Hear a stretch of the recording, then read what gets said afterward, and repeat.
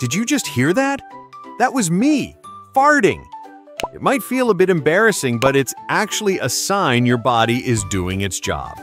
Let's find out why we all let one rip now and then. Hi, I'm Atom, your tiny superhero scientist. Today we're talking about gas. Yes, the kind that comes out the back end. Farting might seem funny or awkward, but it's a perfectly normal way for our body to stay comfortable. A fart, also called flatulence, is just gas leaving your digestive tract through the rectum. That gas builds up as you eat, drink, and digest food. When you eat or drink, you also swallow tiny amounts of air. That air contains gases like nitrogen and oxygen. Most of that air comes back up as burps, but some travels down into your intestines. Inside your large intestine live trillions of bacteria.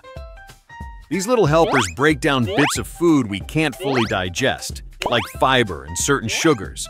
As they work, they produce gases such as hydrogen, carbon dioxide, and methane. Most fart gases are odorless, but a small amount of hydrogen sulfide and ammonia, made by those same bacteria, gives some farts their distinctive smell. It's like nature's little warning sign.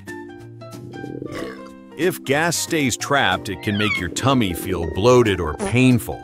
Letting it out, even if it's a bit noisy, helps you feel more comfortable and prevents pressure from building up.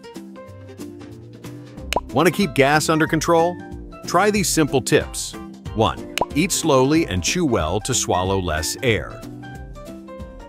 2. Avoid gulping drinks or chewing with your mouth open. 3. Watch trigger foods. Beans, broccoli, onions, and fizzy drinks can make more gas.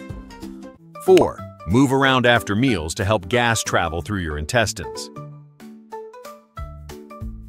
Fun fact, on an airplane, lower cabin pressure lets gas expand more than usual, so you might feel extra gassy at 30,000 feet.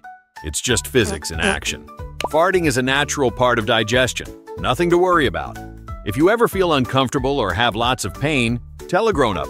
Otherwise, let it out and carry on. Curious about what happens when you hold a fart in? Let me know, and I'll see you next time for another tiny but mighty science adventure.